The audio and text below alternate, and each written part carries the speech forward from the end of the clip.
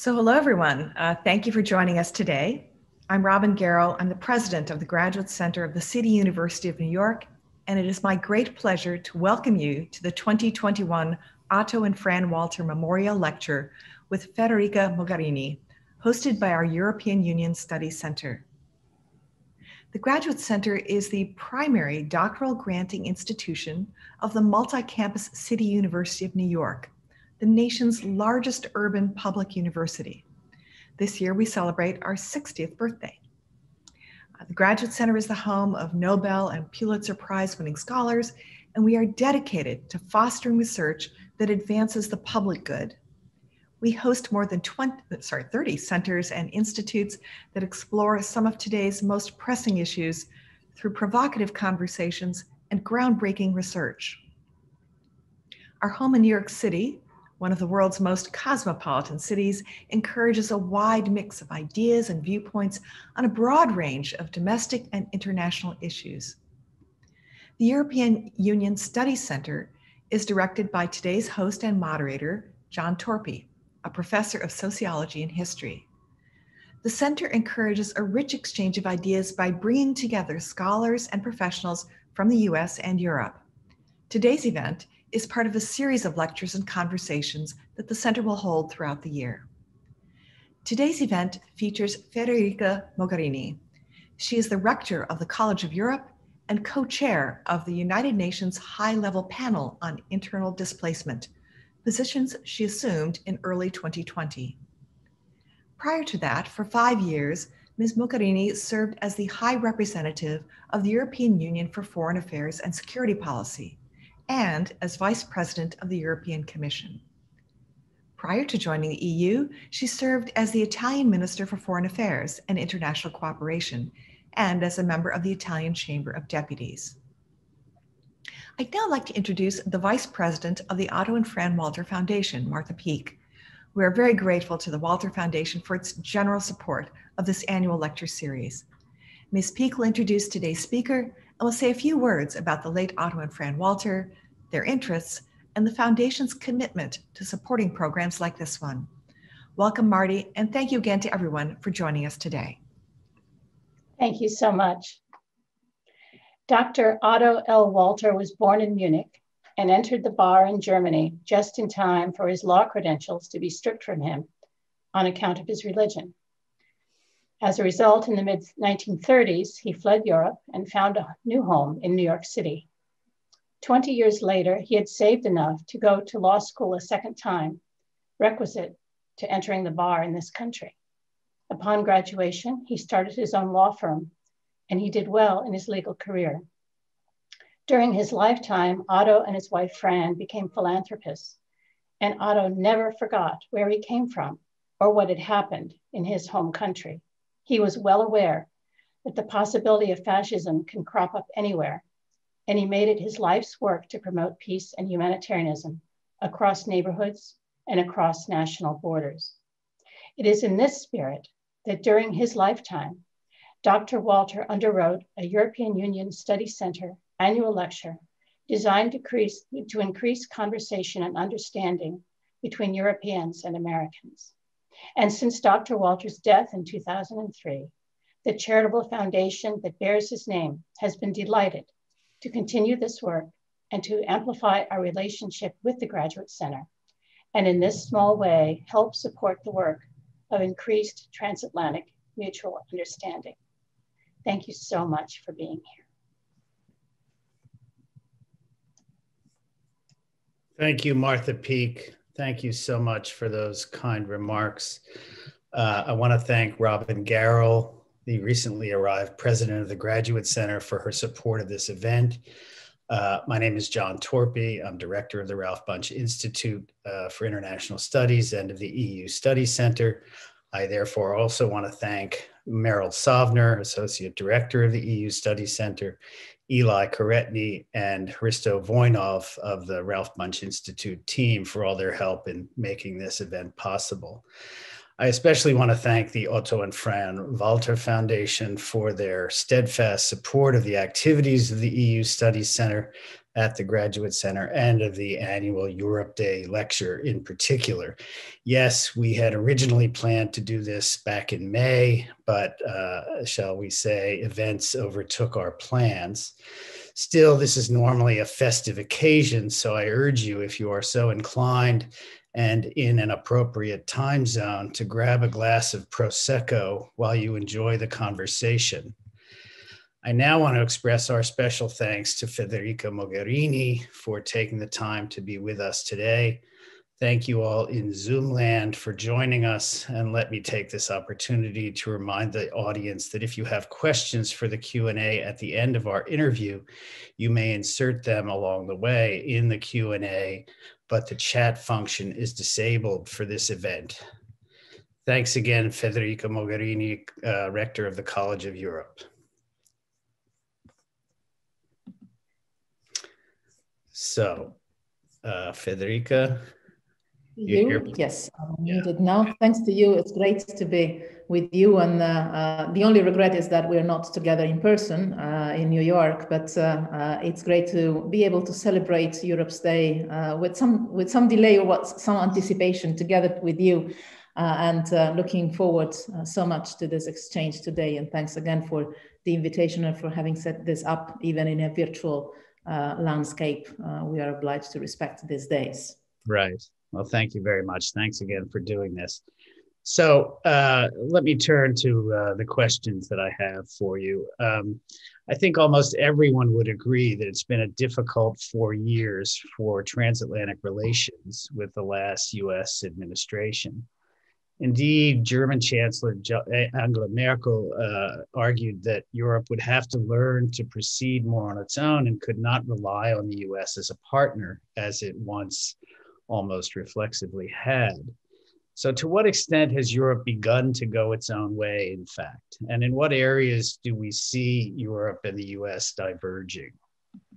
I think, yeah, undoubtedly, uh, there has been uh, uh, some difficulties in this last uh, four years. Um, we had difficulties in previous decades uh, also. So, in the history of the transatlantic relations, this was not a complete novelty. Uh, but previous uh, um, tensions or disagreements were uh, always limited to uh, single issues, single policy decisions, uh, even relevant ones. think of the war on Iraq, where the transatlantic community was definitely not on the same page. but before the Trump administration, I would say that both in the United States and in Europe, there was a general sense of being on the same side of history um, on, on general terms. And there was, as you mentioned, a natural reflex to consult each other, to coordinate actions, sometimes even to have a division of labor, and for sure to work uh, on all security uh, and foreign policy issues hand in hand. Uh, obviously, investing consistently in our common alliance, uh, NATO. Uh, with the Trump administration, this has dramatically changed. Uh, and for the Europeans, it has been particularly a shock, I think, because it came just after a time, especially a couple of years, uh, the last years of the Obama administration, when we managed to work uh, together uh, across the Atlantic with great results and, and, big achievements. Think of the Paris Climate Change Agreements that was really literally done by the United States and the European Union uh, working closely together. Um, the Iran nuclear deal, and uh, also in the UN framework, the Sustainable Development Goals. So we were coming at a peak of uh, multilateral successes, somehow led by uh, the transatlantic uh, partnership. Uh, and for sure, uh, these last four years have been uh, of a completely different nature. Is there something good in it? I have to say, and I've lived the transition because I was in office as the EU High Representative exactly from 2014 to 2019. So I've seen the the, the, the, transition, let's, let's put it this way. I've lived, lived firsthand the shock. Um, and I've repeated, in, I think, an, an, incredible number of times that regardless difficulties, we were still friends and partners. But undoubtedly, uh, the difficulties were there. The positive side of it is that Europe has learned uh, not to give the United States for granted anymore uh, if I can use a, a, metaphor, I think that Europeans were used to consider themselves the junior partner uh, or the, uh, the, the little brother or sister uh, with someone else that at the end of the day would have taken care for good or for bad, huh? because we were also complaining sometimes about US policies or positions. Uh, but some somehow we could relax. Uh, the pilot was was not here. The pilot was uh, was taking care of the flight, of the route, of the safety of the flight. We were contributing, but we were happy to let somebody else drive or or fly. with the Trump administration, I think Europeans realized that they had to take responsibility they had to play uh, autonomously uh, in some uh, issues. They had to defend their own interests and also the values.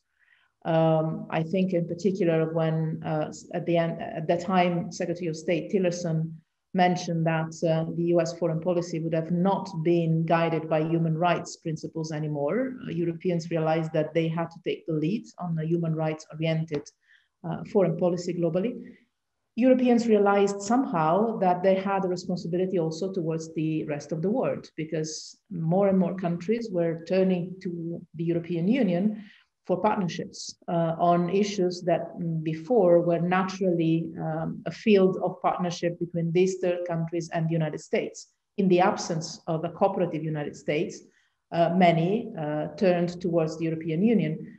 I think that uh, never, as in those four years, the European Union has concluded as many trade agreements, for instance, or partnership agreements with uh, the rest of the world, from Canada to Japan uh, to Australia, you name it, New Zealand. Uh, we have found out mm, our power somehow and our responsibility. So I think that yes, indeed, European Europeans and the European Union specifically has learned to act autonomously, uh, but has kept this instinct of preferring to act together. Uh, and so uh, I hope that now we manage to keep, as we move towards a different kind of partnership uh, and, and relationship with the Biden administration, I hope we in Europe manage to, to keep a sense of, uh, uh, of responsibility and also an awareness of the power we have uh, not giving up the idea that if needed, we can act autonomously. Uh, and uh, at the same time, preserving or restoring a natural partnership and cooperation with the United States. On one particular thing, I believe the Europeans realized that uh, um, they had this power, but also the shortcomings and the loopholes we were facing. Uh, and that is the Iran nuclear deal. Maybe we can talk about that more in, uh, in the coming um, hour. But uh, that was a moment when, when Trump announced that the United States would have stepped out of the agreement. That was a moment when Europeans realized that they had a global responsibility and even a responsibility towards parts of the United States to keep the agreement alive, even in the absence of a presence and a, commitment from the US administration. And it worked to a certain extent. But then we realized that our autonomy was missing one fundamental element, and that was the instrument or the capacity to protect the um, European investments uh, or trade relations from the extraterritorial impact, for instance, of uh, the US sanctions. This is something we've experienced both in the case of Iran, but also with Cuba, uh, where the shift policy uh, from the Obama administration to the Trump administration was uh, dramatic. Uh, and also there, Europeans kept the course, uh, kept relations and commitment with the Cuban um, with, with, Cuba. Uh, but we realized that our financial system was exposed so much uh, to the US one uh, that our autonomy in the financial sector was seriously um, limited. Uh, so I think that this might be the next chapter uh, just to get ready in case things go wrong again or get difficult again um, so that, for instance, we can use the euro as a currency worldwide for global exchanges, something that at the moment is not really used. Uh, think of the oil uh, trade that is done completely on, on dollars. Um, I, I, believe that this is going to be the next chapter for the European Union autonomy. But politically, we've realized that, uh, yes, we have a responsibility and we can stand on our own feet. But again, we prefer not to do it. We prefer to work in partnership, uh, especially with the United States. Right. I mean, there are certain ways in which uh, everyone is expecting, I think, the Biden administration to uh, restore, you know, the good old days of uh, comity and uh, brotherhood between, uh, you know, the Europeans and the Americans. Um, and they're bringing, he's bringing many of the people that, you know, came from the Obama administration into the new administration with him. Some of them go back indeed to the Clinton administration. Um, and one can sort of understand perhaps that desire for a certain kind of stability and a return to old comfortable ways. But i wonder whether there also aren't also certain you know uh, pitfalls in that kind of approach. Um, you know the world is not the same world that uh, you know existed when those administrations were in power. And one wonders whether there might not be a need for new views of things new a new orientation to the world. And the brexit uh, situation is obviously one of the most significant ones that suggests that we're in a kind of different context. So how would you uh, address that question I think there's um, the, the perception of uh, or, or the, um, the comfort zone that this idea of a return to uh, to the golden age or to the past or just back to normal uh, is is very tempting, uh, obviously. And uh, um, I think the surface of uh, things suggests that there is a, a, certain tendency to to give reassuring messages. I, I found, for instance the speech of the inauguration day uh, very um, uh, very reassuring, very um, yes, comfortable and not surprising. Uh, maybe not not so exciting as uh, one could have imagined, but extremely uh, sound, extremely solid, and extremely reassuring. Uh, but I think that beyond beyond the surface, the real point is that there is no back to normal um, that is even imaginable or possible because there is no normal anymore the world has completely changed in this last, well, even in this last year, uh, has completely changed. If we had this conversation uh, in, uh, in January last year, it would have been completely different world, and we wouldn't have had it on online, but in, in presence. Um, and if you look at a world of five, six, even four years ago, it's a completely different world. So I think that uh, the Biden administration will have a mix of uh, uh, reassuring messages and reassuring symbolism uh, including the choice of some, I think, of the State Department. That is uh, uh, obviously um, one of the main focuses we have in Europe, um, where we recognize friends, let's put it this way, and friends that know Europe well. Uh, but also, I think that um, there will be no back, uh, back to normal uh, in the policies, because in the meantime, some things, for good or for bad, have changed in, in the reality of the world.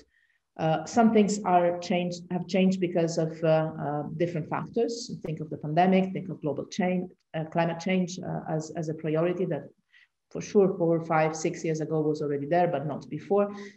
But then there are also some of the choices, for instance, that the Trump administration has taken that change in reality the landscape in which the new administration is called to take decisions and take action. Think of the decision, for instance, to withdraw troops from Afghanistan, uh, I guess that the uh, new administration will have to study carefully the file and understand together with the NATO allies what to do with that, because uh, in certain issues, especially the, the military domain, um, it is not irrelevant the starting point you are in, and uh, uh, you cannot uh, take decisions on the basis of theoretical principles only. You have also to see what is the um, the damage control uh, conditions uh, you have to put in place in some cases. So I think mm, we will not have uh, um, a comfort zone to go back to. Um, I think that the domestic US uh, political dynamics will also not allow that to happen completely. I guess that President Biden will, uh, and the administration in general, will uh, try to start from or focus on um, the uh, less controversial, less dividing, uh, more bipartisan uh, steps in foreign policy, at least uh, to start with, um, to try and uh, mend the wounds of, uh, of harsh divisions in the past. I guess they will have to take their time also because the transition has not really taken place.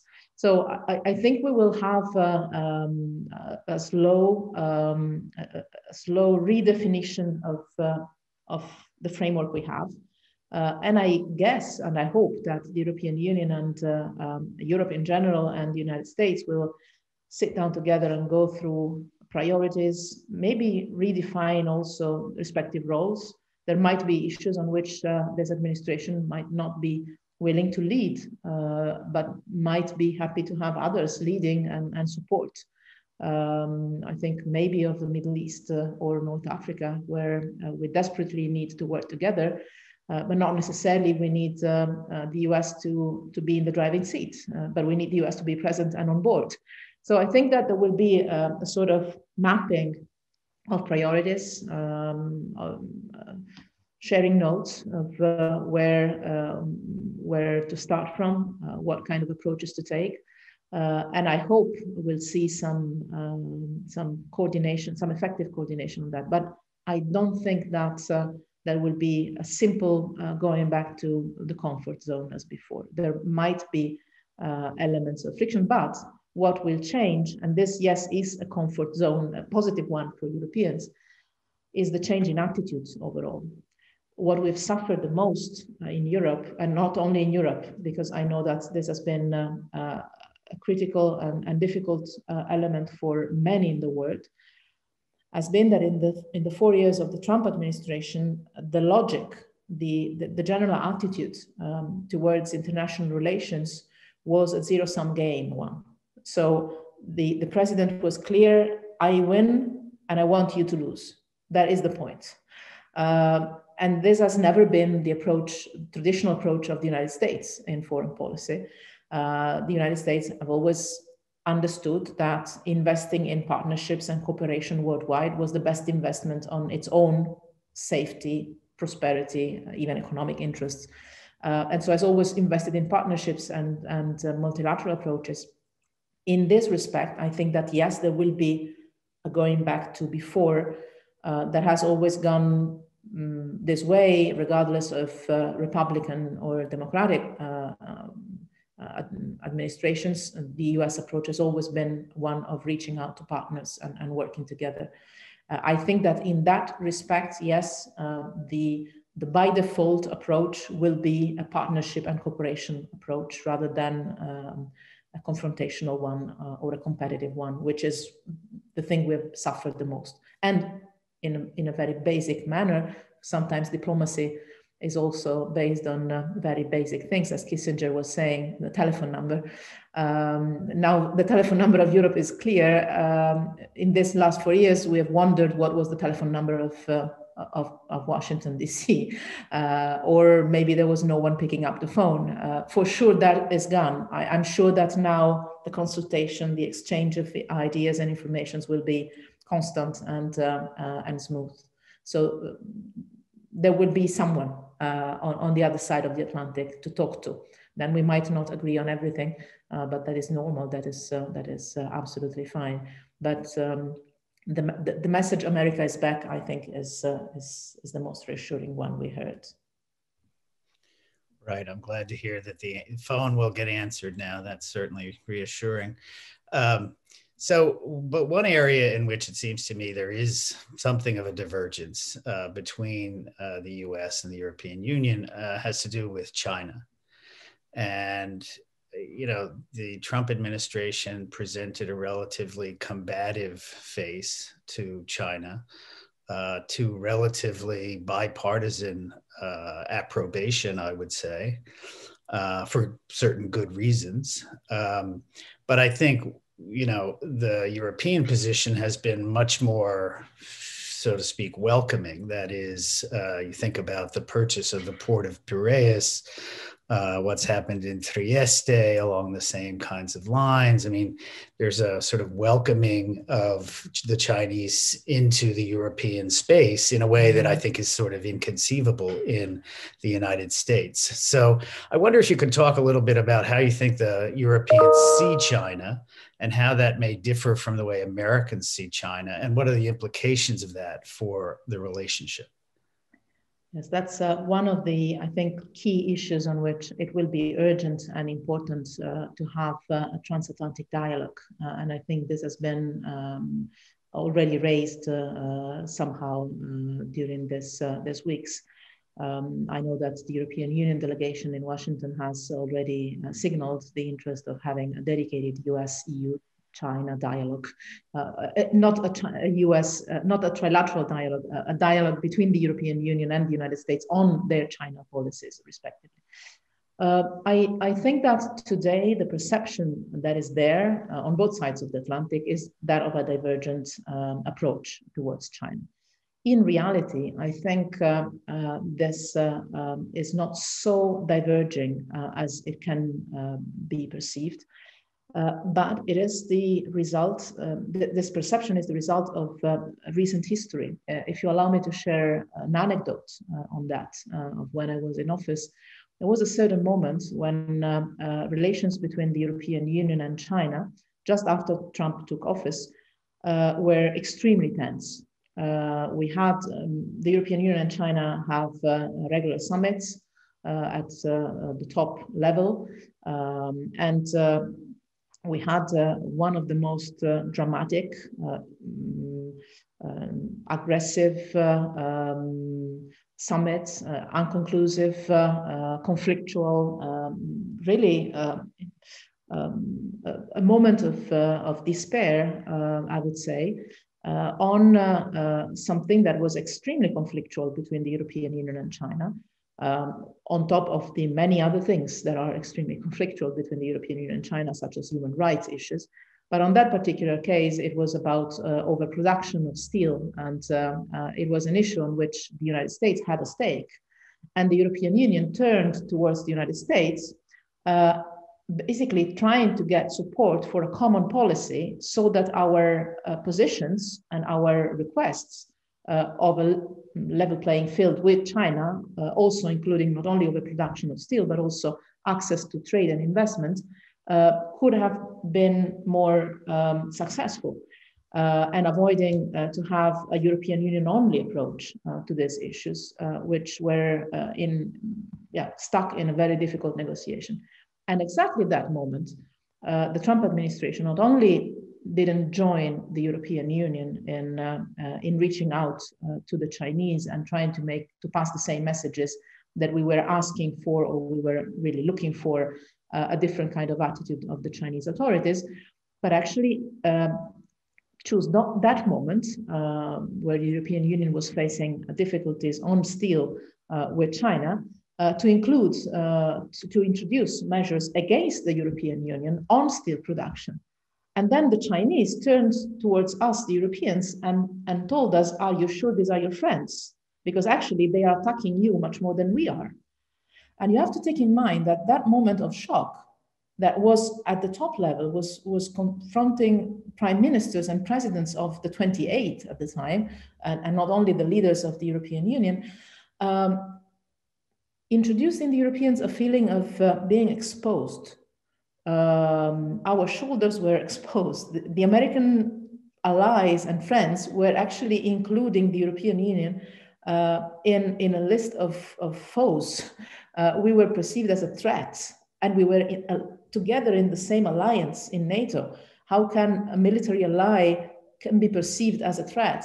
Uh, and sanctions were introduced on the steel production in Europe from the United States on the basis of a security assessment. That moment was a moment that of, was a, quite a dramatic moment and was a moment where the Europeans realized that the, in their negotiations with China, as difficult as they were, they were alone. And this created a different mindset. This created different, I would say, even psychological attitude. Um, the Chinese obviously played with it. That's obvious. Uh, so I'm sorry if I if I uh, reconstructed a little bit of background, uh, recent history, but uh, you have to take that in mind to understand how relations between Europe and China developed from that moment onwards. Because in that moment, it was Europe and not the U.S. carrying the flag of those being hard on China. And then realized that we were alone in doing this. Um, and, and you have also to keep in mind that Trump was uh, often moving uh, his position towards China uh, from we'll make a great deal to we are enemies forever, uh, which was not really a consistent message uh, to, to read uh, in, in Europe. Having said that, from that moment onwards, the relations between the European Union and China um, developed in, in a very complex manner.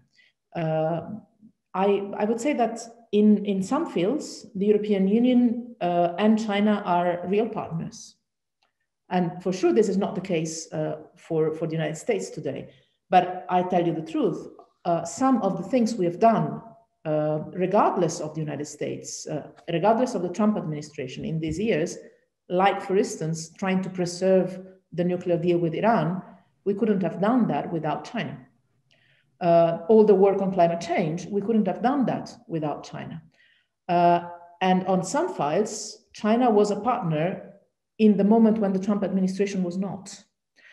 Uh, having said that, I think the European Union has taken a very pragmatic approach, very transparent, saying, okay, there are some issues, again, the nuclear file, um, uh, the climate change uh, uh, issues on which we can work with China and we have to work with China. There are other files on which we are competitors, clearly competitors. Um, trade, uh, investments. And then there are other files on which uh, we are, the European Union is, even uses the, the term uh, mm, systemic rivals and on which there is no way in which the European Union and China uh, can agree. And the human rights uh, file is for sure the first of those, but not only that. Uh, so the Chinese didn't like it, uh, our uh, way of defining the complexity of our relationship, but then they lived with it. And I perfectly remember that uh, once a high level official in China, one of the top level officials in China told me, you know, we don't like the European Union in many respects, but at least with you, we know what we get. Uh, there's a certain level of predictability with, for the Chinese culture is uh, one of the essential elements of negotiating. So even things that we don't like about your positions on China, such as human rights issues, every time I went to China, I always met with human rights activists, and that was accepted, and that was uh, uh a must for us. Uh, but the Chinese recognized that with the European Union, uh, negotiations could be serious, and there were there was the capacity to differentiate sectors on which uh, competition or even uh, co conflict was uh, very hard, and other issues on which cooperation was possible.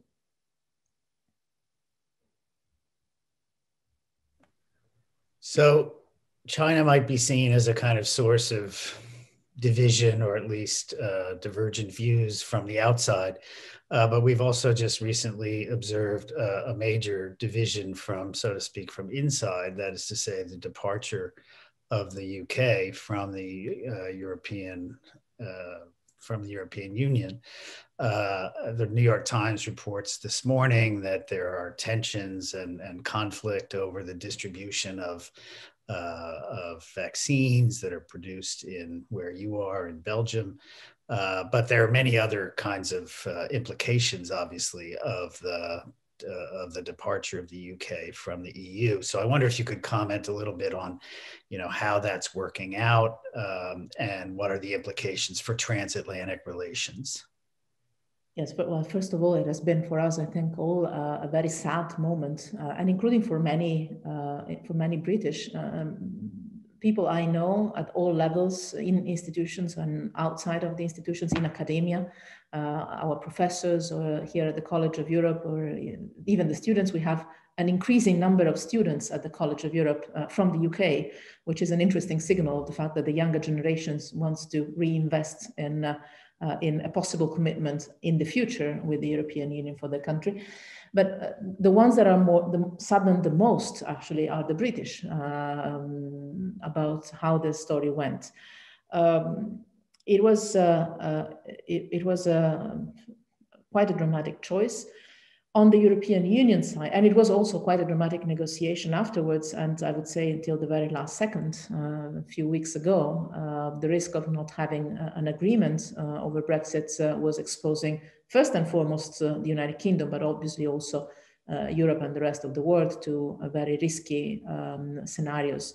Luckily, there has been an agreement at the end of the day, but still the points that remain open are many, are relevant need to be further negotiated and are uh, of critical importance. And the way in which the negotiations will continue uh, will determine um, the future of many sectors, and in particular, the economic cooperation, uh, the business environment. Um, I think of all the data protection file that is uh, exposing uh, businesses and, and the financial sector in the UK uh, to, to, to the risk of big damages and losses uh, if negotiations don't go well with the European Union on, especially on, on data protection. Uh, but also on other things. Um, I, I, believe that on the European perspective, um, if, if, you go back with memory in, um, in your memory to uh, 2016, uh, that was indeed uh, quite a dramatic year. Um, you remember that the overall narrative was uh, that the Brexit referendum would have led to the end of the European Union. Many were referring to this as being the beginning of the end and that many other European Union member states would have uh, somehow emulated the UK and uh, would have chosen to go the same way with a referendum and exiting the Union. And actually, the contrary happened. Uh, and I at the moment, I had no doubt this would have been the case. I come myself from a country that, uh, from time to time, cyclically plays with the idea of, uh, you know, um, getting out of the union or um, being very hard on, on the union. But one thing is to use the rhetoric of the anti-European feelings uh, in the public discourse, which is dangerous, I believe. But another thing is to get out for real.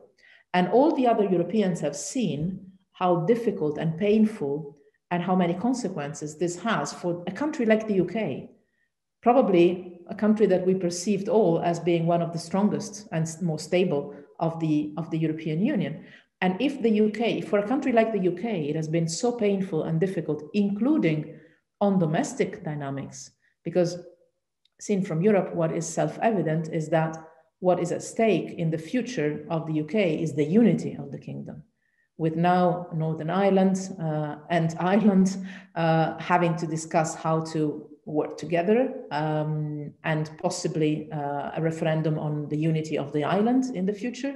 Scotland wishing to have a referendum on how to join the European Union alone. So the United Kingdom is not united anymore around this issue.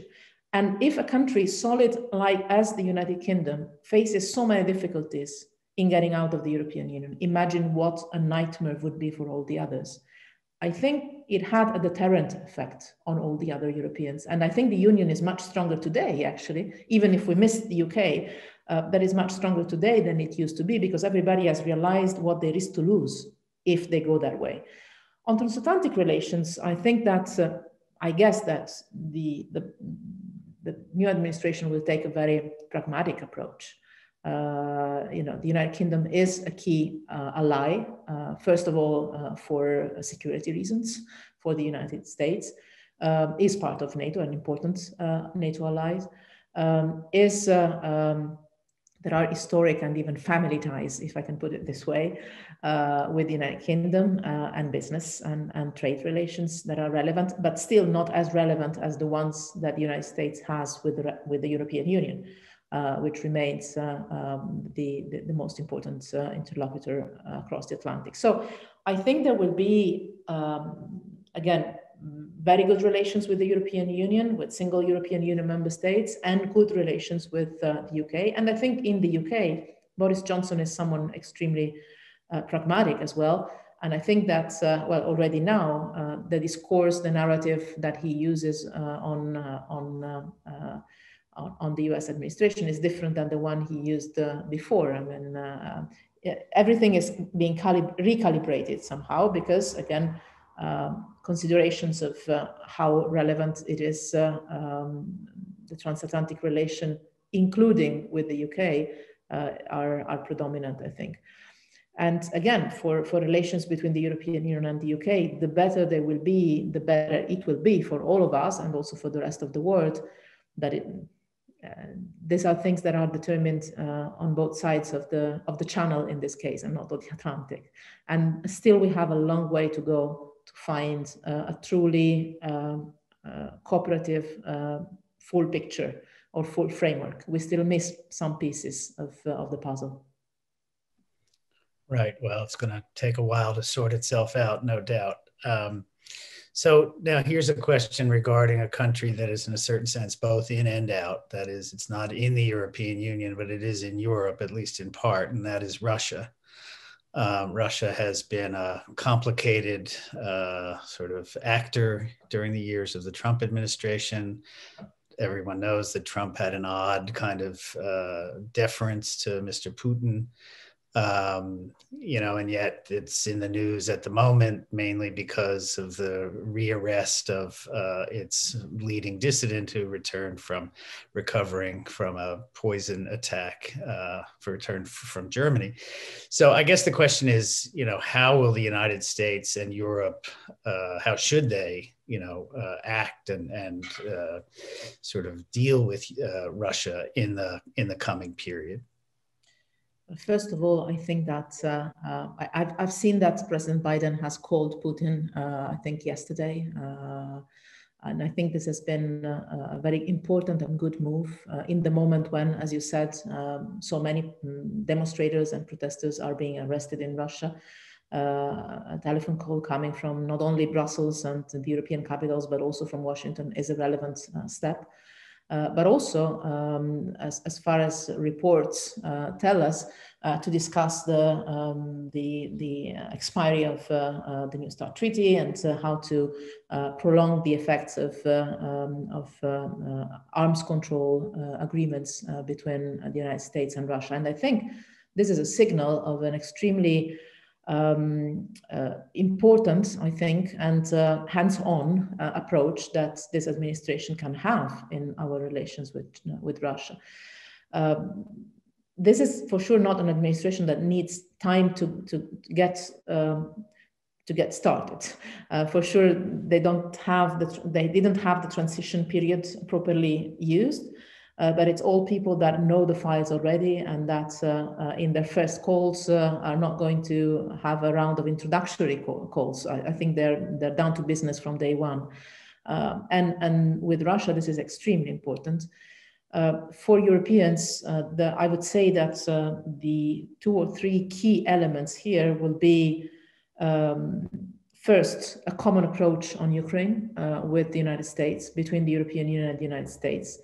Uh, because uh, to tell you the truth, in this last four years, uh, the European Union has been the one uh, supporting the survival of Ukraine uh, in the reform sector, in the um, resilience mode that they have tried to develop. imagine that there has been no other country in the history of the European Union that has received a larger package of support uh, and financial support from the European Union ever. Ukraine is the single country that has received the largest envelope of, of financial support from the European Union in this last uh, six years. Uh, so uh, this to give you a sense of, uh, I would say, hope and expectation that from now on we will share uh, the burden. We often talk about sharing the burden of the of, of our security. Europeans have I think, often felt that security is not only military investments, sometimes it's also, uh, sometimes even humanitarian expenses can be an investment in security, or climate change can be an investment in security. And in this case, for us, uh, Europeans uh, supporting financially the Ukrainian agenda and the Ukrainian reforms uh, and the, the survival of Ukraine as a country uh, has been part of our investment in security. Uh, and again, this is not part of the uh, GDP percentage we spend on, on military equipment, but it is part of our collective security. So I think that uh, on, on our side, there is an expectation, on the European side, there is an expectation that from now on, um, consultation on, as I said, Ukraine uh, and uh, how to deal with that conflict will be done properly between the European Union and the United States. Um, I think that uh, an expectation is there also that on the entire non-proliferation and arms control file, uh, there will be a very active uh, US, uh, active and coordinated with the Europeans position. I have to say on this, uh, um, the Iran nuclear deal, uh, maybe the Korean file, um, the presence of Wendy Sherman in the State Department, if confirmed, obviously gives Europeans a a hint of the fact that this is going to be for sure on the agenda. um, there is in general terms, I would say, and, and in, on these files uh, relating to Russia is not irrelevant, uh, both for the bilateral relations between the and treaties between the United States and Russia, but also because on uh, uh on arms control and nuclear non-proliferation, um, a dialogue between the United States and Russia is indispensable. Uh, there is no way to substitute it. Uh, because of the nature of the military uh, presence of, uh, well, part of it from the past, but part of it also uh, for, for now. So I would expect that this would be um, key or at least present in, in the talks. Um, and also on some uh, other issues where for Europeans, it will be extremely important to coordinate with the United States in the Security Council. Um, this has not happened um, that much uh, from in the last years, uh, if at all. Um, the European Union member states uh, that are permanent members now are less because the UK left. But uh, between uh, the UK and uh, the European Union member states present in the Security Council of the United Nations, for sure, there will be and there will continue to be a form of coordination on the key files. I think of the Middle East peace process, I think of Syria, I think of, uh, um, of uh, main conflicts and crises we have around the world, Sahel, the Horn of Africa, uh, Ukraine itself. And I think that having the United States coordinating with the Europeans, uh, not only with the Europeans, but mainly with the Europeans in the Security Council will also make a difference on the outcome of some global uh, negotiations on security issues. So the question you've raised the question of European security, which is inevitable in a discussion of Russia, um, but uh, it raises the question of NATO, and which you've mentioned in passing, but not really uh, gone into any detail about. And I wonder, I mean, famously, the first Secretary General of NATO, Lord Ismay, said NATO was created to keep the Soviets out, the Americans in, and the Germans down. Uh, but that world is in many ways gone, right? Um, uh, I mean, there may be a concern about keeping the Americans in on the basis of the experience of the last four years, but I guess it raises the question, you know, what is the contemporary relevance of uh, of NATO, and and you know, how should it be structured going forward? Yes, I think uh, this is one of the reasons, personally, it is one of the reasons why um, I am so happy to see uh, this administration coming in, because I've seen with my, my, with my own eyes how NATO has suffered in this last four years uh, for a lack of uh, engagement or, or, even for a lack of consistency or clarity uh, from, from the US administration.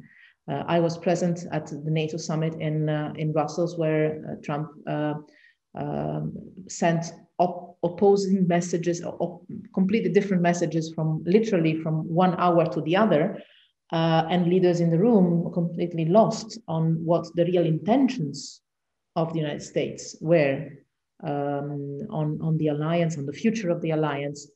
Uh, and for a military alliance, uh, this is particularly um, uh, serious and, and, and uh, heavy uh, because there is nothing as precious as predictability in the military domain. Um, and, and we have always uh, sensed and seen that uh, the Pentagon has always struggled to, to keep a face of, uh, of consistency and, and engagement.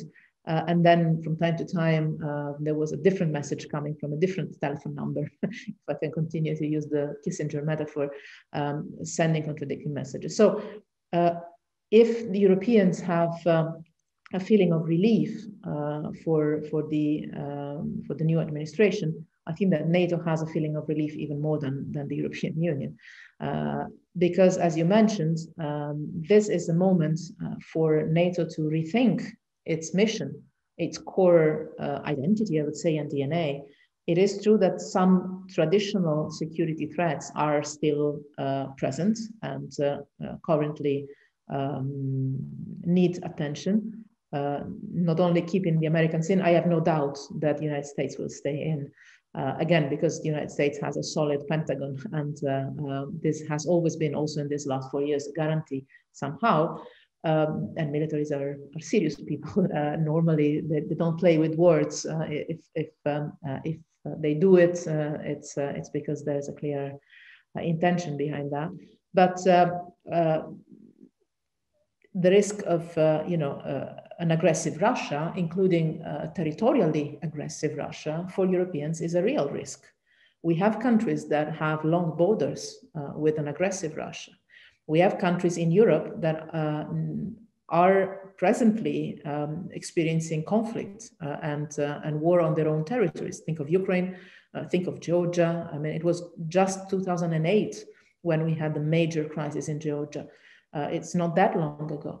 Um, there, there is uh, in Europe a perception of a threat that still can come from that side. Uh, and so we need to keep for sure the traditional approach of territorial defense, for which NATO is, uh, is absolutely irreplaceable.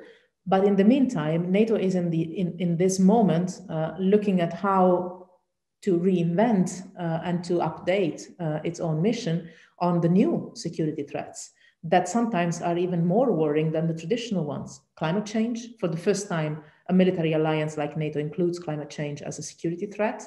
And this administration will for sure be the best partner and ally to invest in that direction. And I'm sure John Kerry will do an excellent job on this. Uh, but also uh, cyber attacks, uh, hybrid threats, uh, the entire um, domain of uh, how the digital world uh, can be or can become or can turn into a security threat. how can our data be manipulated for um, a use that is not appropriate? and how can that lead to a security threat for our countries, for our societies even. Uh, so I think that in this reflection about what does it mean security today for a military alliance, as well as for the more traditional ones, Russia, but also uh, Afghanistan, uh, where we are together still. Uh, I think that having the Biden administration in office and engaged will be 100% making the difference uh, for NATO. Europeans are on board.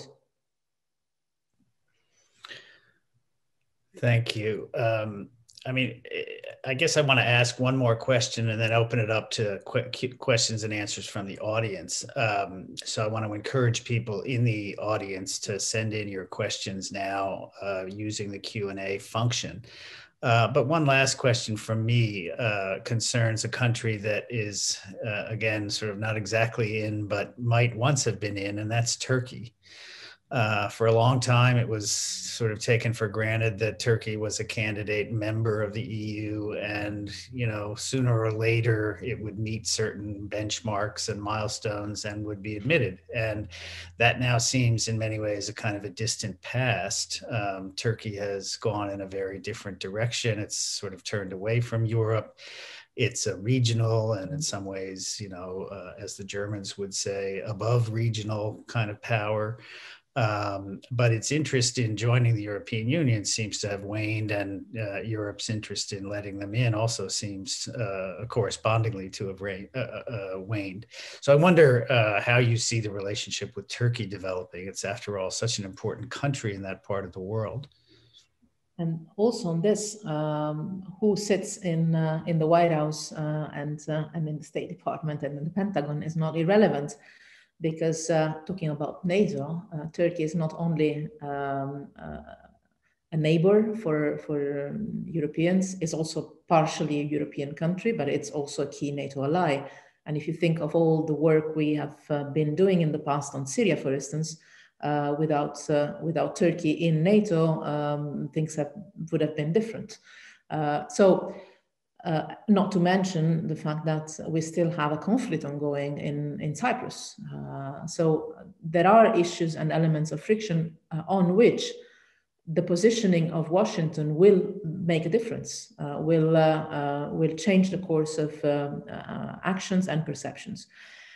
Personally, I think I was, it's interesting, I was discussing just today with, um, with a Turkish student uh, we have many Turkish students that join the College of Europe uh, uh, because the younger generation um, is uh, very much interested in seeing if the possible accession of Turkey to the European Union is not only of a distant past, um, but also a distant future. Uh, they're interested in, in, in, looking at the possibilities of uh, revitalizing um, the, the path that could eventually potentially lead uh, Turkey to, to enter the European Union.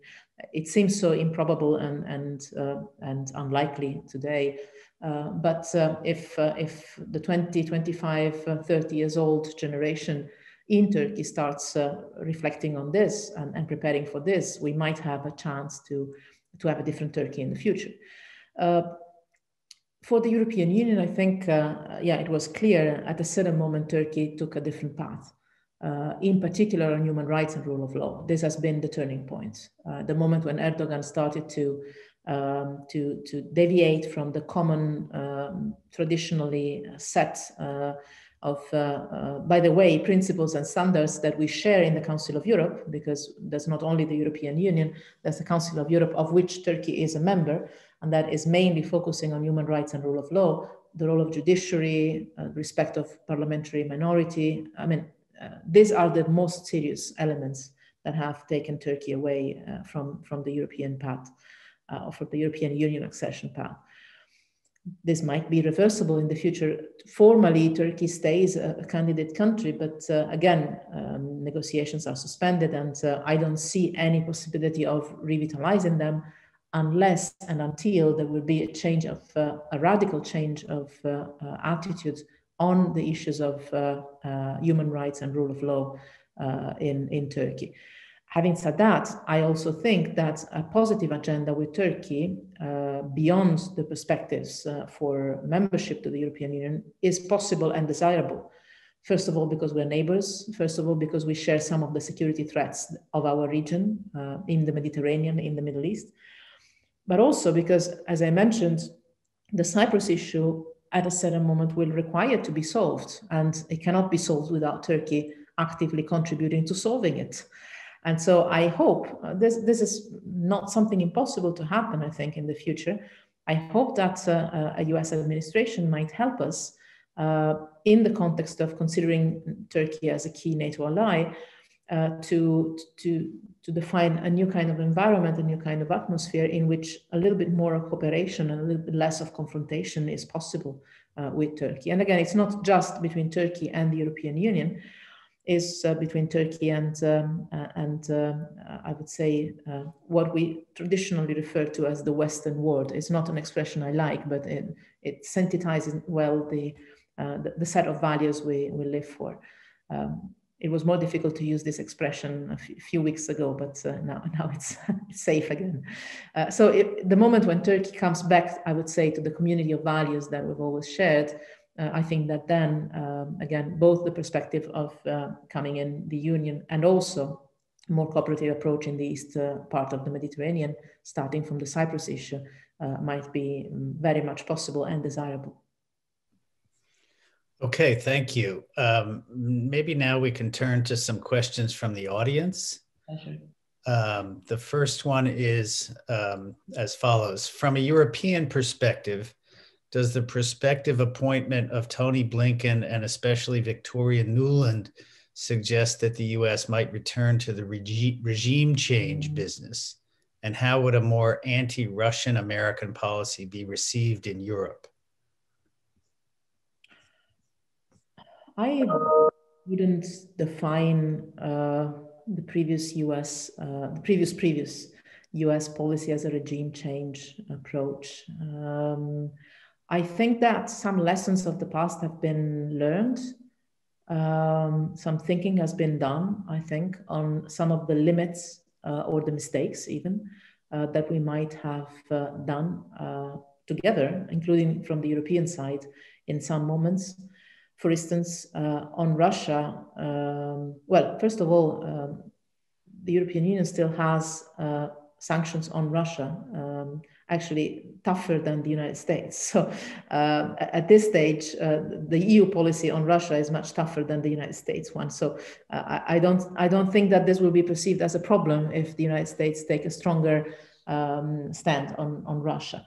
Uh, it would actually be welcomed. Um, but I think that in the European Union, in Europe in general, we have realized one thing uh, that I think our um, our friends and, and starting from Tony Blinken and, and Victoria Luna, Nuland also uh, might have reflected upon in this uh, in these years, and this is the fact that uh, for instance, when you think of Maidan, uh, of, of the demonstrations in Ukraine in, in early 2014, uh, in that moment, um, the narrative that Russia was playing uh, was that uh, the Europeans and the Americans were pushing Ukraine to a choice uh, on one side or the other. You can be either with Russia or with the West.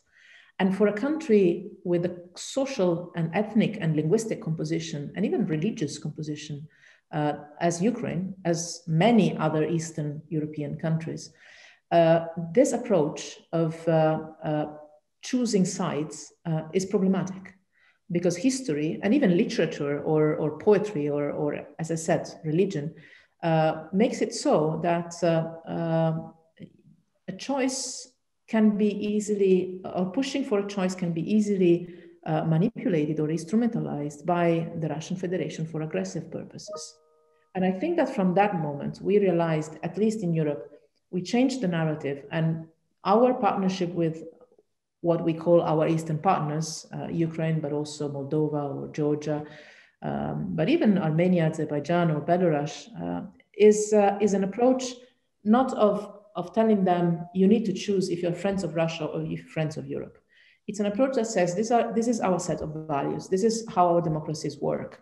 This is how we empower our civil society. This is how we guarantee the independence of the judiciary. This is how we, um, we guarantee that our uh, media uh, sector is free and independent. This is what we can do together to try and start reforms, uh, but also economic investments and, and trade relations between the European Union and your country. This doesn't imply becoming an enemy of Russia. This doesn't imply breaking all the ties you have with Russia. Uh, but this is what is on our side. This is clearly what is on the table from our side. And avoiding to enter into uh, the binary choice uh, discourse. Uh, I think that this narrative has proven to be much more productive in practical terms allowing these countries that want to reform, that want to have uh, a more European standard oriented society and economy and institution to engage in that process without allowing the Russian Federation to use the identity argument uh, inside the societies themselves. Uh, I don't know if I managed to express myself properly, but I think that this has been a thinking that for sure in Europe has developed and I think that uh, uh, that same kind of reasoning might uh, might have happened also uh, in some of our American friends. Thank you very much. So and, and I can. This is true sorry. only for for um, countries in the east of Europe, but also for Central Asia, mm-hmm. that is experiencing exactly the same kind of uh, dynamic, a search for uh, reforms and investments uh, on, this, on the model of the European uh, style uh, without breaking completely the cultural identity ties, starting from the language ties, with what has always been the Right. So, could you please address uh, how the EU uses migration partnerships as part of the foreign policy? How does the EU reconcile the human rights violations directly connected to EU migration deterrence, particularly in the Mediterranean and Africa? What a question. This has been one of the files on which uh, uh, I have personally suffered the most during my years in office. I think there's no mystery because I think I said it even publicly a couple of times. Um, first of all, um, on a personal note, um, when I arrived in Brussels, um, I was uh, I, resigned as a, uh, as an Italian foreign minister the day before starting in Brussels. So I was coming straight from uh, the member state that was at the time more exposed to to um, migratory flows. Uh, and uh, I, I was shocked when I arrived in Brussels, finding out that migration for the European Union was a purely internal uh, file. There was no external uh, competence on, on migration uh, put in place whatsoever. Uh, as if migration was happening from where. so we started developing partnerships with countries of origin and transit. Um, for me, there were two aspects here, uh, and, and there still are. On one side, uh, I think Europe has been not living up to its own standards when it came to respect of human rights and promotion and protection of human rights uh, related to the management of migration and refugee flows. I personally felt a deficit on the European side on that. And that created to me some, some conscious problem. Uh, on the other side, uh, and this was mainly linked, I think, to the domestic political uh, fights inside the member states. This issue has always been so highly politicized, particularly by the right wing parties and the extreme right wing parties or governments, that sometimes you had the impression that they didn't even want to solve the problem because they needed to use the problem electorally. Uh, that was my impression from, from, time to time. And uh, I found it extremely painful to see this in Europe. Uh, and I've always admitted that in Europe, on the migration file, on the refugee treatment, we had a lot and a long way to go to have full respect and full promotion and protection of human rights. I think we visits there. Uh, on the other side, um, what we put in place and is still in place with the countries of origin and transit was, on the contrary, uh, something uh, extremely valuable and positive because the, the agreements that were established with the countries of origin and transit were done together with the UN agencies. So it, it is all trilateral agreements between the European Union, countries of origin and transit, and UNHCR and IOM. In some cases, also including international NGOs, for instance, on the respect and the protection of uh, particular categories of, uh, uh, of refugees and migrants, um, or uh, even sometimes training local forces on how to protect human rights uh, in countries where protection of human rights is not yet, let's put it this way, a priority. Um, and also trying to invest on uh, regular channels on one side, dismantling of criminal networks and, and criminal organizations, and developing local economic uh, opportunities so that uh, the flows of economic forced migration could be prevented. I think that the combination of this with a huge investment uh, from an economic but also from a political point of view was positive. This is, I think, the, the external partnerships is exactly the way forward. And this is why the UN actually was very much happy to see the European Union engaging finally into this.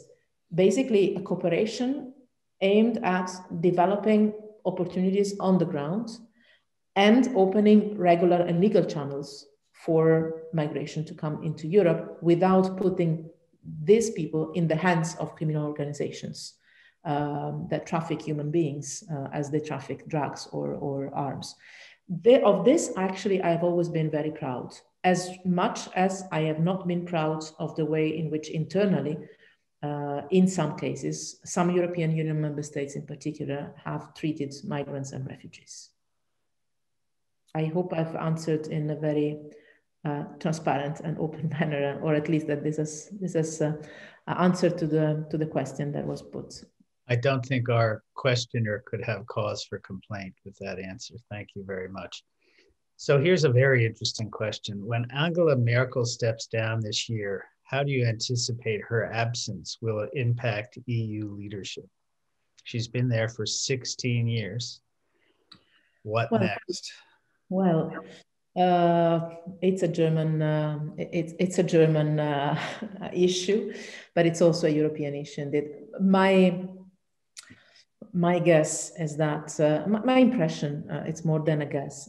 For sure, she would be missed, but the European Union is such a, a, structured, complex, I would say, solid building that for sure individuals are missed, uh, but uh, nobody is indispensable or irreplaceable. Uh, so for sure her leadership will be missed. In particular, I think her leadership will be missed in the EPP, in the um, uh, uh, People's Party, in the conservative uh, side of the political landscape in Europe, because she has been for sure, and she still is, a point of reference for uh, all those conservatives in Europe that have a very pro-European uh, stand, and that has created a, somehow a limit to the extreme right.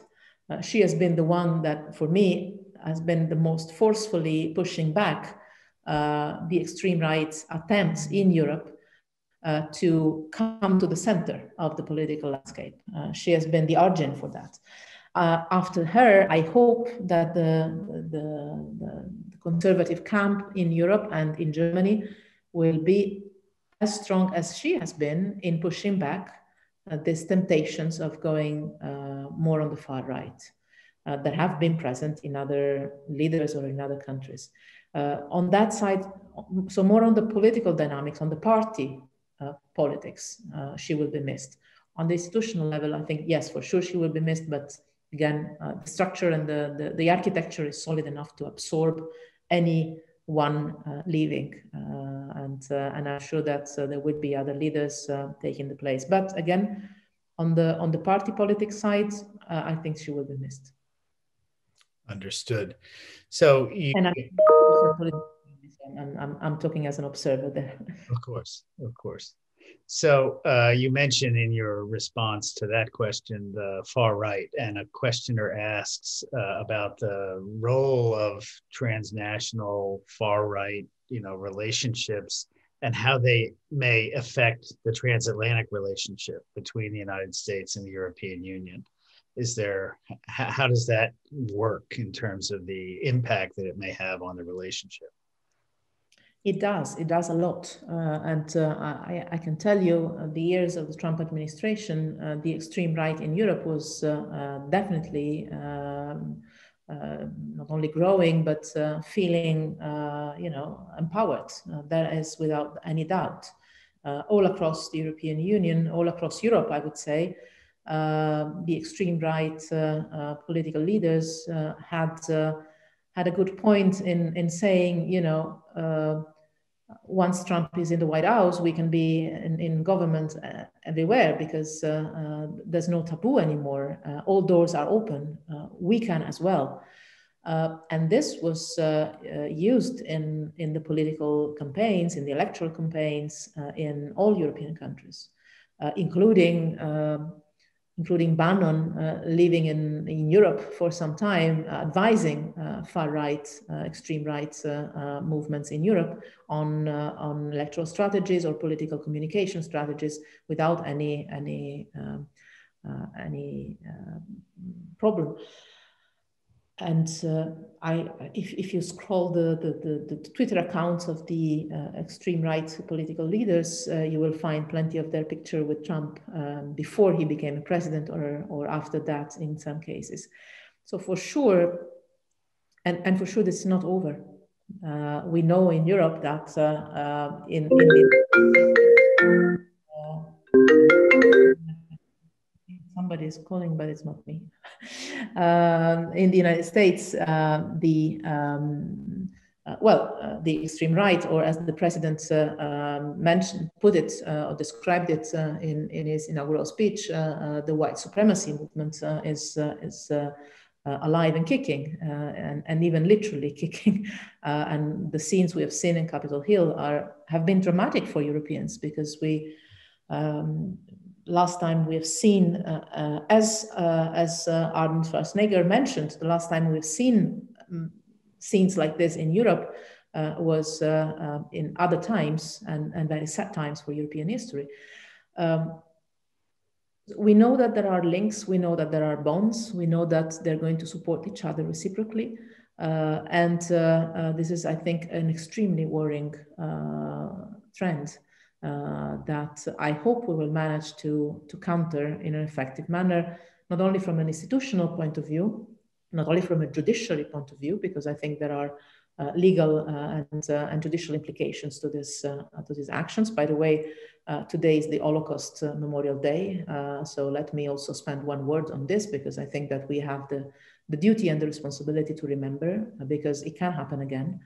Uh, and we've seen that uh, uh, awful things of the past can happen again if we are not paying attention to preventing them from happening.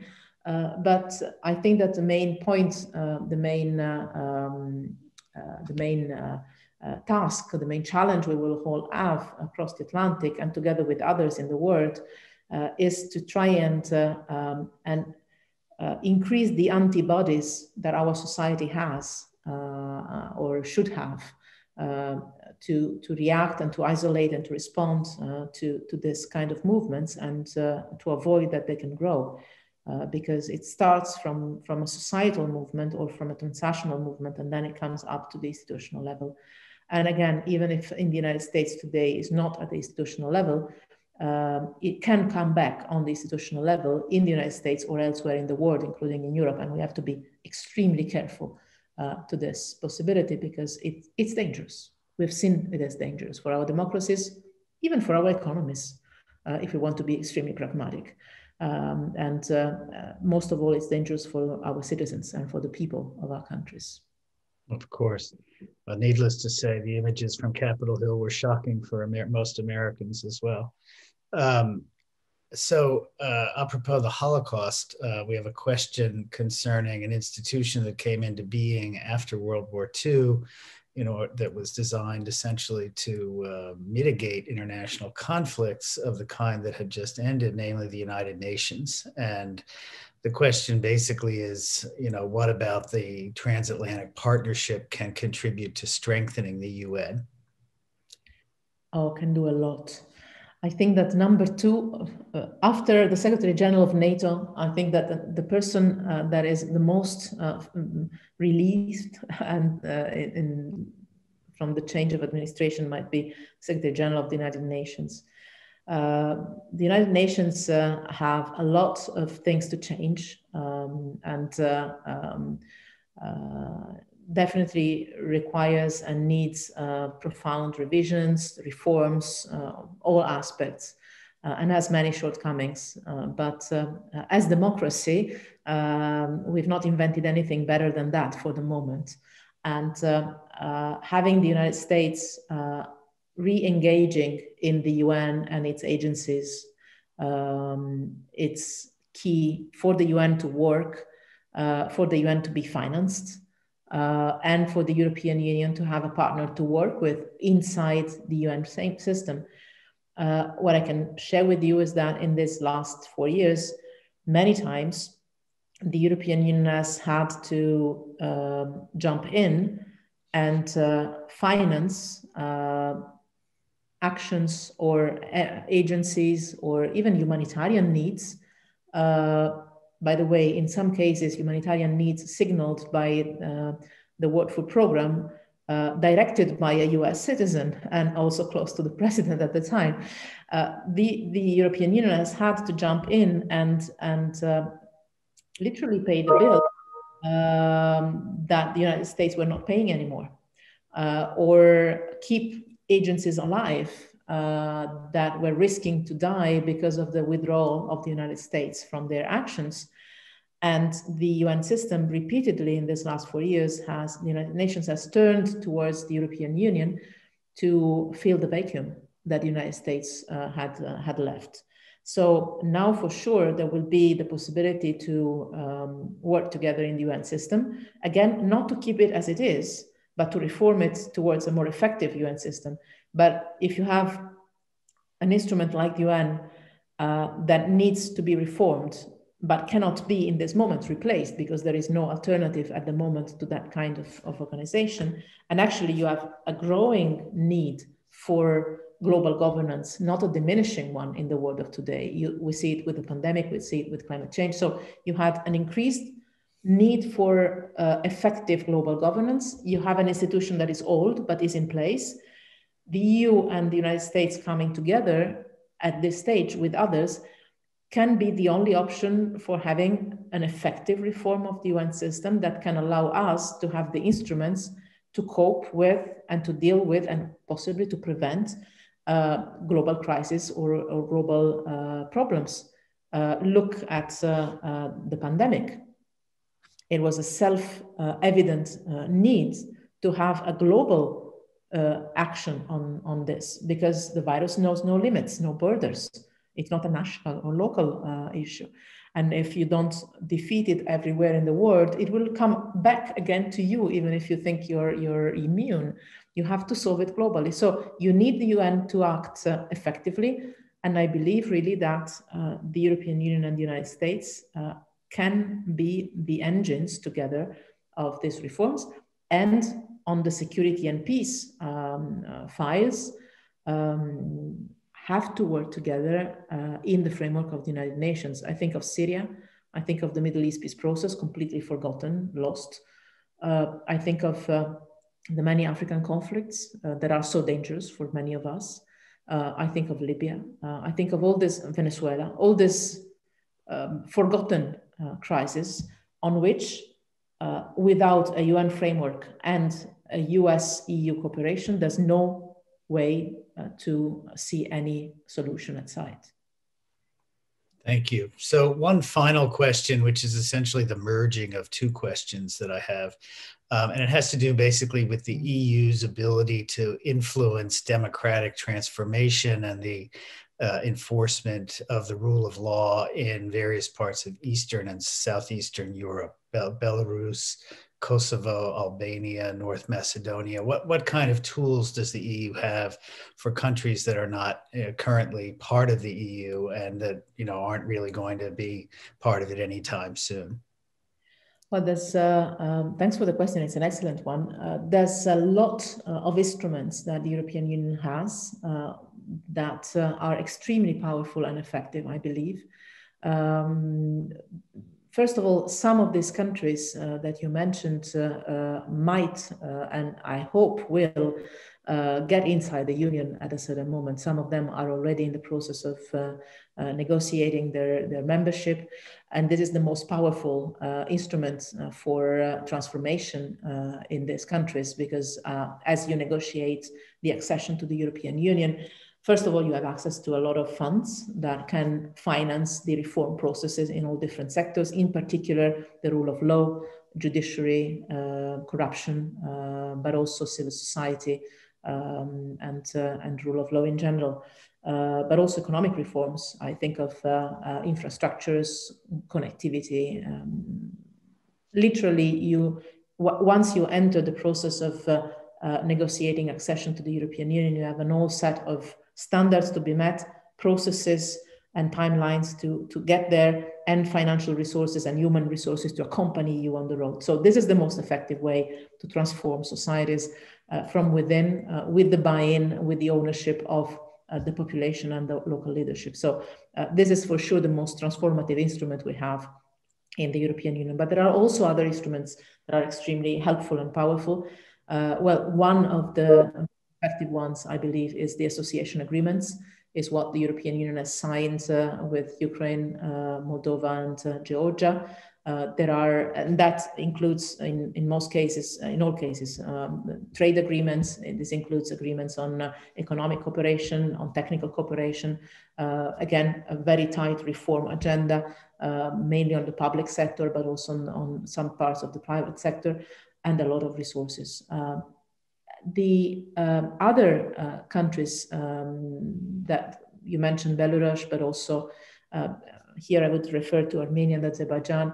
Uh, other are in the process of negotiating other kinds of agreements uh, or have already signed them that are lighter in the sense that um, they're not associated uh, to the European Union, but offer a framework of both economic cooperation, uh, a society to society, a people to people aspect, uh, exchanges, students exchanges, uh, civil society empowerment, media, uh, joint work, uh, support to the international media sector, uh, to the independent media sector, for instance, trade agreements or customs agreements um, that are beneficial for the societies twice. On one side, because they incentivize reforms, and on the other side, and sometimes they finance reforms. And on the other side, uh, because they increase the economic uh, relations and the trade relations with uh, um, with uh, the uh, the European Union. And then even far away from Europe, uh, I was mentioning Central Asia before.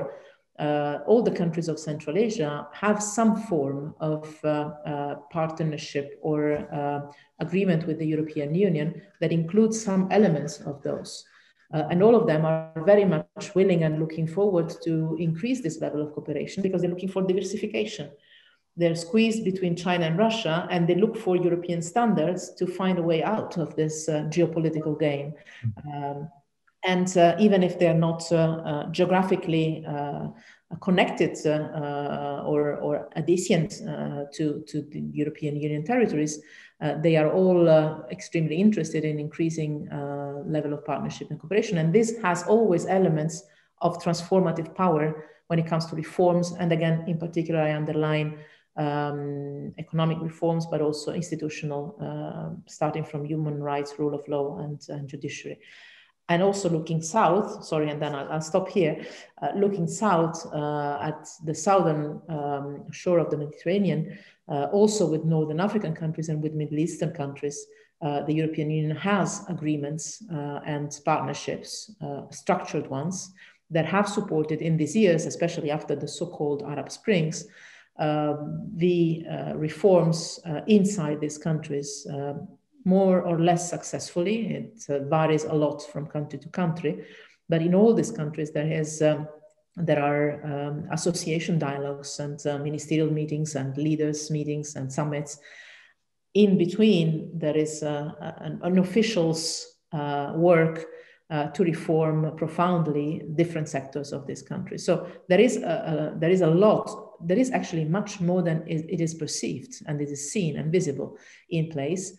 And this brings me to, to, to, to, saying something that I've always said, and uh, people normally looked at me uh, as if I was completely crazy. But uh, if you took away the European Union and all its international engagement and instruments, uh, if you took away all of this for even one day only, the world would literally collapse. You take away all the humanitarian aid, all the development aid, all the trade agreements, all the human rights dialogues, all the um, reforms processes. You take away all of that, even for 24 hours, I couldn't count the number of people that would die out of it or the number of processes that would stop. We don't sometimes realize it because we give it for granted. We've always done it, we continue to do it, and it's a life saving mode somehow for, for many. Uh, but uh, I think this is really uh, the most powerful instrument the European Union has, this transformative normative power also uh, that is so precious for us. Indeed. Well, thank you very much. I, I want to say thank you so much to Federica Mogherini, the former High Representative for Foreign and Security Policy of the European Union and currently Rector of the College of Europe, where she's training future versions of herself, I think. Um, and so many students from abroad. So um, I hope that we will be able to welcome some of uh, uh, of your students uh, in the future in uh, uh, in Bruges or in Warsaw. Uh, it would be great to see more, especially more American students joining. I'm hoping to send my daughter, who's Belgian, but that's another conversation. Um, I also want to thank the Otto and Fran Walter Foundation for their steadfast support of this lecture series and of the activities of the European Union Studies Center more generally. Robin Garrell of the uh, Graduate Center, president of the Graduate Center, and everyone who helped make this event uh, such a success. Thank you so much. And this will, by the way, be posted online in the very near future. Uh, I can't say exactly when, but look for it soon. Okay, thank you all very much. Thank you to the audience for coming, and we look forward to seeing you again. Be well. Arrivederci. Arrivederci.